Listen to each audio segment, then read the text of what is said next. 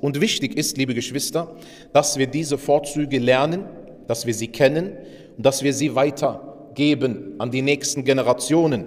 Warum? Weil man will die Spuren der, der, des islamischen Daseins äh, entfernen.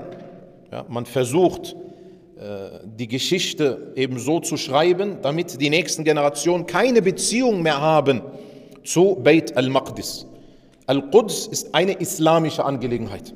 Es ist keine arabische Angelegenheit, keine palästinensische Angelegenheit. Es ist eine islamische Angelegenheit.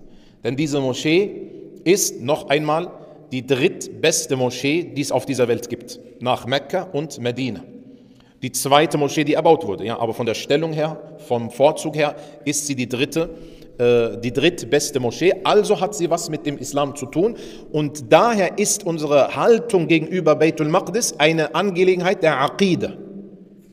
Das ist nicht eine politische Angelegenheit, oder, sondern das ist eine Angelegenheit der Aqide. Das ist unser Glaube. Das ist ein Bestandteil unseres Glaubens.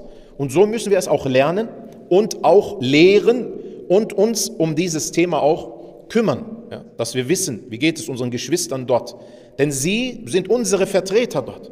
Sie beleben diese Moschee, damit sie eben nicht in Vergessenheit gerät. Und wir wissen, walillah alhamdu äh, diese Moschee äh, wird nicht in Vergessenheit geraten. Es reicht ja schon, dass Allah sie verewigt hat im Koran. Aber trotzdem, was ist deine Rolle, um die Stellung dieser Moschee der Menschheit bekannt zu geben?